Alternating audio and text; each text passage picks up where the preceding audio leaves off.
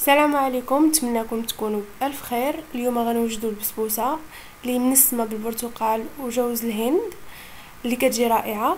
أول حاجة غنوجدوا السيرو اللي غنحتاجوا ليه جوج الكيسان ديال العنبة ديال الماء وكاس ديال السكر حبيبات اللي غنديرهم في كاسرونة ونردهم فوق البوطة حتى يغلاو وغنزيد ليهم سكر الفاني ولا عصير الحامض اللي متوفر عندي. نخليه حتى يعقد الخليط ونحيدو. بالنسبة للبسبوسة غنحتاجو جوج البيضات. غنحتاجو كاس ديال السكر حبيبات غنحتاجو كاس إلا ربع ديال الزيت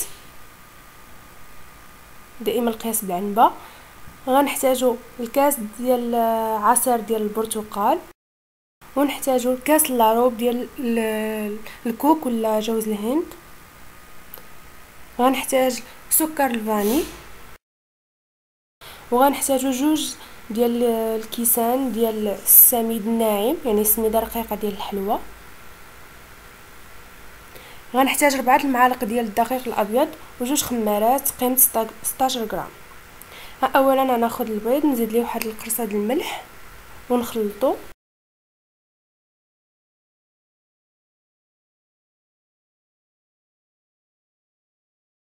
غنزيد سكر حبيبات ولا سنيدة.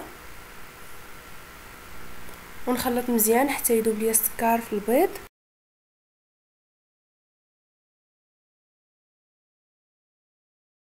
غنزيد الزيت.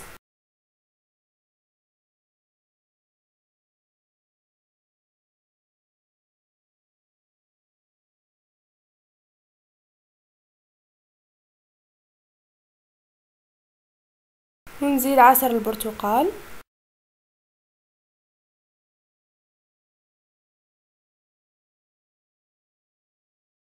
سكر الفاني.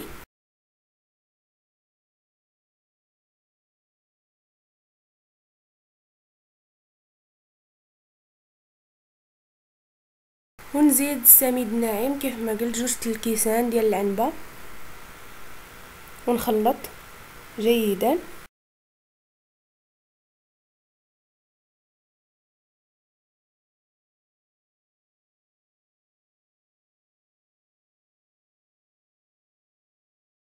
دابا غنضيف جوز الهند ولا الكوك كاس لاروب ديال العنبة.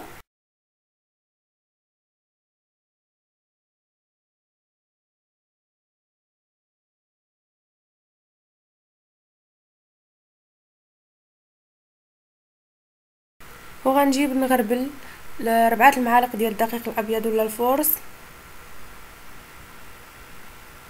ونغربل معاهم حتى جوج ديال الخمارات قيمة 16 غرام.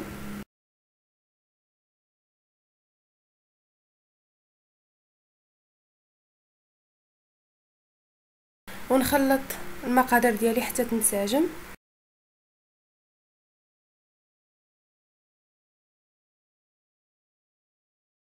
نجيب المول ديالي اللي دهنته من قبل بالزبده ورشيته بالدقيق غنصب فيه الخليط ديالي. نحاول نرفع يديا باش تجيني البسبوسه طالعة.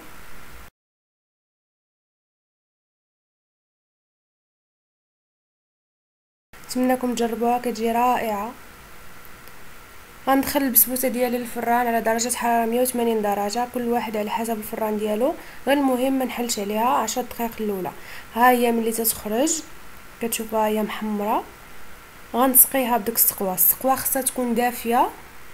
والبسبوسة سخونة ولا لا كانت السقوه سخونة نخليو الكيكة حتى ولا البسبوسة حتى تبرد.